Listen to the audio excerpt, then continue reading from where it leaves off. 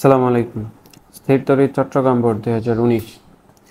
একটি সমান্তরাল পাত ধারকের প্রতি পাতের ক্ষেত্রফল দেওয়া আছে ten inverse four centimetre square পাতদ্বয় বাহুতে পরস্পর পাতদ্বয়ের বাহু সরি এখানে হচ্ছে পাতদ্বয়ের বাহু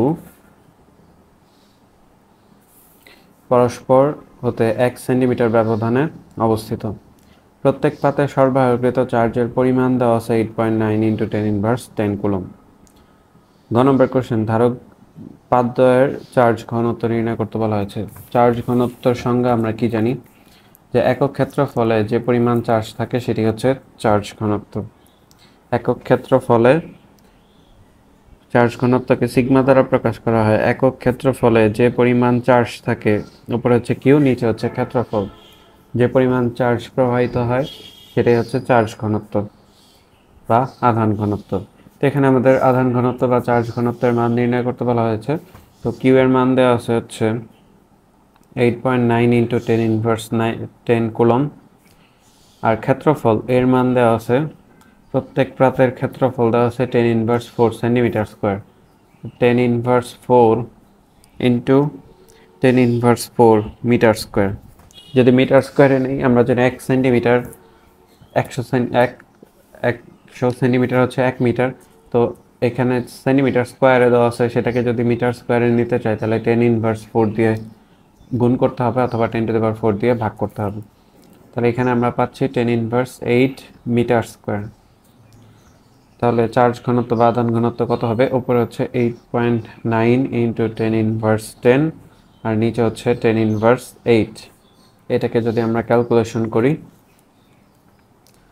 eight point nine into ten to the power minus ten calculator ছাড়াই করা যায় এটা।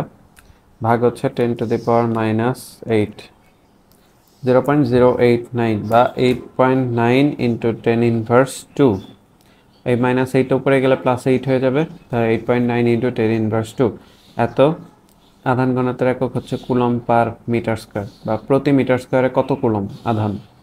সেটা হচ্ছে আধান ঘনত্বের একক। ঘ নাম্বার, ঘ নাম্বারে বলা আছে যে পাদ্যের মধ্যকার বৃহৎ পার্থক্য অর্ধেক করা হলে ধারকটির সঞ্চিত শক্তি পূর্বের সঞ্চিত শক্তির এক চতুর্থাংশ হবে কিনা? পাদ্যের মধ্যকার বৃহৎ পার্থক্য অর্ধেক করা হলে তার পূর্বের বৃহৎ পার্থক্য কত ছিল সেটাও তো আমরা জানি না, তো সেটাও বের করতে হবে। তো বৃহৎ পার্থক্য বের করার আগে আমাদের ধারকত্ব বের করতে হবে। কারণ ধারকত্ব আমাদের দরকার, কারণ সঞ্চিত শক্তি যদি বের করতে চাই হাফ সি ভি স্কোয়ার, তাহলে সি এখানে সি আছে, তাহলে সি এর মান এর জন্য আমাদের ধারকত্ব বের করতে হবে।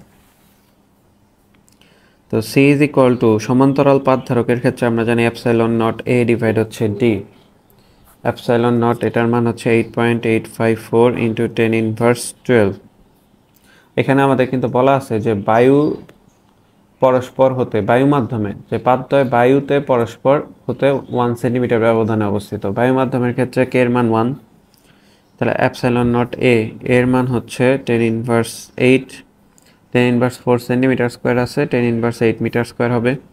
আর ডি পাদ্যের মধ্যবর্তী ব্যবধান ডি এর মান দেওয়া আছে ওয়ান সেন্টিমিটার সেটাকে আমরা zero point zero one metre লিখতে পারি। এটাকে যদি ক্যালকুলেশন করি, তাহলে eight point eight five four into ten inverse twelve ten inverse eight ten inverse twenty আসবে, আর নিচে হচ্ছে টেন ইনভার্স টু এটা উপরে গেলে প্লাস হয়ে যাবে। টেন ইনভার্স এইটিন ফেরাড ধারকত্বের মান পেলাম eight point eight five four into ten inverse eighteen farad এখানে আমরা বিভব বের করতে পারি এখান থেকে। আমরা জানি C is equal to Q by V V is equal to Q by C. তো আধানের মান পেয়েছি eight point nine into ten inverse ten coulomb. Eight point nine into ten inverse ten coulomb আধানের মান, আর ধারকত্ব পেলাম 8.854 into 10 inverse 18 তাহলে বিভবের মান কত? 8.9 into 10 to the power minus 10 minus 10 ভাগ হচ্ছে 8.854 into 10 to the power minus 18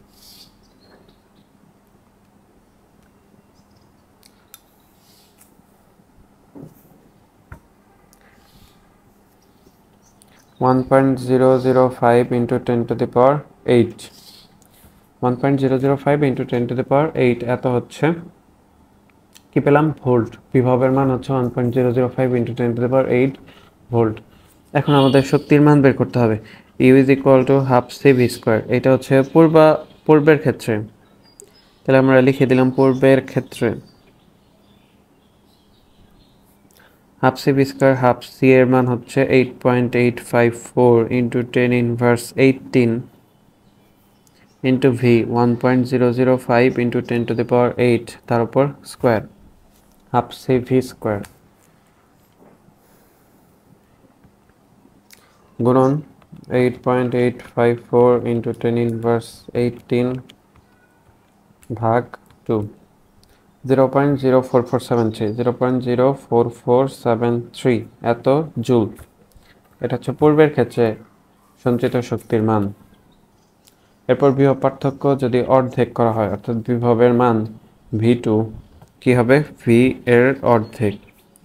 তো one point zero zero five into ten to the power eight divide হচ্ছে টু এটাকে যদি আমরা দুই দিয়ে ভাগ দিই zero zero five into ten inverse ten to the power eight ভাগ two, five point zero two five into ten to the power seven, এত ভোল্ট। বিহপের মান পেলাম। এখন দ্বিতীয় ক্ষেত্রে সঞ্চিত শক্তির মান half C V square half into ধারকত্বের মান যা ছিল তাই থাকবে। ধারকত্বের মান হচ্ছে eight point eight five four into ten inverse eighteen আর বিভব ভি এর মান হচ্ছে five point zero two five into ten to the power seven তার উপর স্কোয়ার এটাকে স্কোয়ার করতে হবে গুণন eight point eight five four into ten to the power minus eighteen ভাগ হচ্ছে two zero point zero one one. এত, আগের ক্ষেত্রে ছিল zero point zero four four seven three, আর এই ক্ষেত্রে আসছে zero point zero one one one seven eight. Joule. এখন এখানে যদি আমরা U one divide U two, এটা অনুপাত করি, তাহলে zero point four four four seven seven three divide হচ্ছে জিরো পয়েন্ট ওয়ান ওয়ান এখানে একটা জিরো আছে। Zero point zero four four. আলহামদুলিল্লাহ। আর এখানে zero point zero one one one. তো এটাকে যদি ক্যালকুলেশন করি, তাহলে দেখা যাবে ইউ টু এইটা ইজ ইকুয়াল টু কী হবে? One by four U one হবে। অর্থাৎ এক চতুর্থাংশ হয়েছে। তো এখানে আমরা দেখলাম যে দ্বিতীয় ক্ষেত্রে যদি বিভবের মান অর্ধেক করা হয়, তাহলে ধারকত্বের মানও কী হয়ে যাবে? এক চতুর্থাংশ হবে। এর কারণ হচ্ছে সূত্র সম্পর্ক কি is equal to half C V square এখানে সি কনস্ট্যান্ট হাফ তো কনস্ট্যান্টই তাহলে ইউজ প্রপোর্শনাল ভি স্কোয়ার তাহলে U one divide U two এটা is equal to V one by V two তার উপর হচ্ছে স্কোয়ার এখন দ্বিতীয় ক্ষেত্রে বিভবের মান অর্ধেক করা হয়েছে, তাহলে ভি ওয়ান বাই টু তার উপর হচ্ছে square U one by U two তাহলে U two divide U one এটা যদি আমি নিয়ে আসি, তাহলে এটা উপরে চলে যাবে। ইউ ওয়ান স্কোয়ার ডিভাইড হচ্ছে ফোর বি ওয়ান স্কোয়ার এটা এটা কাটা, তাহলে এখানে আমরা কি পেলাম? ওয়ান বাই ফোর পেলাম। তাহলে এক চতুর্থাংশ হচ্ছে। সঞ্চিত শক্তির মান এক চতুর্থাংশ হচ্ছে। তা আশা করি ম্যাথটা সবাই বুঝতে পেরেছেন। ভালো লাগলে অবশ্যই লাইক শেয়ার সাবস্ক্রাইব করবেন। আর সমস্যা থাকলে অবশ্যই কমেন্ট করে জানাবেন। আল্লাহ হাফিজ।